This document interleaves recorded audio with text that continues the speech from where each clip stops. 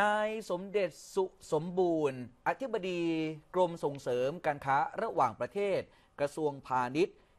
เปิดเผยถึงแนวโน้ม ตลาดส่งออกสำคัญของประเทศไทย ในภูมิภาคตะวันออกกลาง ยังมีแนวโน้มที่ดี แม้ว่าจะเกิดสถานการณ์ความขัดแย้งในอ่าวเปอร์เซีย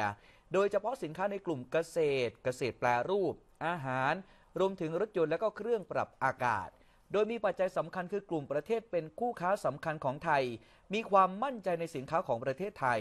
โดยมีการนำเข้าสินค้าจากไทยอย่างต่อเนื่อง อย่างเช่น กาตาร์แล้วก็บาเรนครับสำหรับตลาดตะวันออกกลางขยายตัวต่อเนื่องเป็นเดือนที่ 2 ที่ร้อยละ 5.9 สินค้าสำคัญที่ขยายตัว อย่างเช่น รถยนต์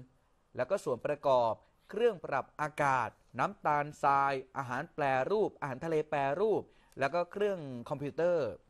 โดยอาหารทะเลแปรรูปนับเป็นสินค้าที่หลายประเทศให้ความสนใจนะครับ รวมไปถึงตลาดใหม่ๆในภูมิภาคตะวันออกกลางด้วย สินค้าส่งออกประเภทสุขภาพ ตอนนี้ก็เริ่มได้รับความนิยมในตลาดภูมิภาคแล้วครับท่านอธิบดีกรมส่งเสริมการค้าระหว่างประเทศ ยังได้แนะนำผู้ประกอบการการส่งออกว่าต้องระมัดระวัง ในเรื่องของการบริหารจัดการความเสี่ยง เกี่ยวกับค่าเงิน รวมทั้งเรื่องของการปรับตัวสูงขึ้นของพลังงาน